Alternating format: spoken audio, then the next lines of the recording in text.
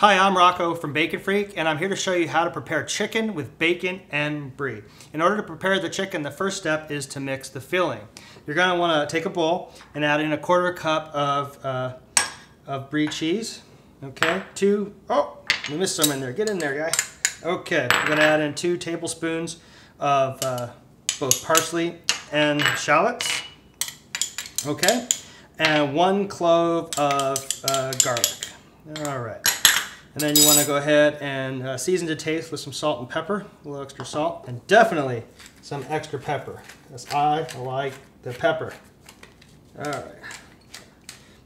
A little more. Okay, good. All right, go ahead and mash those together. Um, while I'm getting this ready.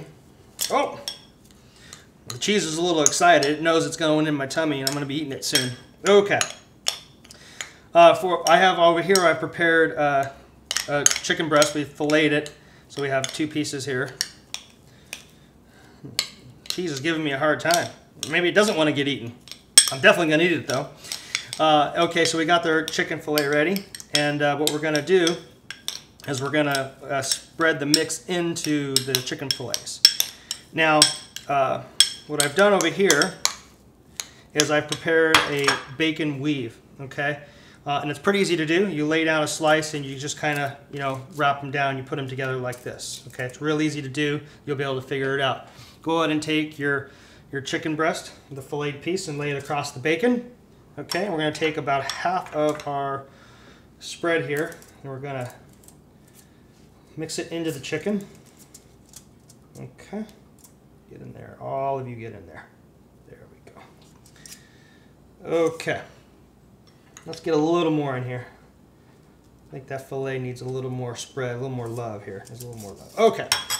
All right, we're gonna go ahead and uh, we're gonna try to, when you cook this in the oven, the cheese has a tendency to wanna uh, fall out. So what we're gonna do is we're going to uh, try to hold some of that in with the, with the bacon. We're gonna roll it over here. Um, at some point here, we may need to secure this with uh, uh, toothpicks, which we have soaking in water if that's the case. Okay, so let's get that nice and tight. We're gonna go ahead and wrap the bacon over here, okay?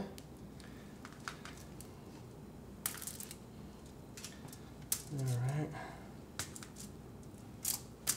Okay, so what we've done is we've completed the weave on the bottom, okay? And then when we cook these, we're gonna go ahead and turn them over so you have a nice pattern. Now, it doesn't look like I'm going to need any toothpicks here uh, to secure this. I think it's going to do quite nicely. Okay. Again, I'm practicing the weave. Just lay out a couple pieces. It's really easy to do. You get the idea. Just one over the top. Uh oh wrong way. That's okay. All that basket weaving came in handy at one point that I did. All right, there you go. That's how you do the weave. Okay. All right, you want to go ahead and uh, preheat the oven to 375 degrees and cook it for about 40 minutes or until the internal uh, temperature of the chicken is about 165 degrees.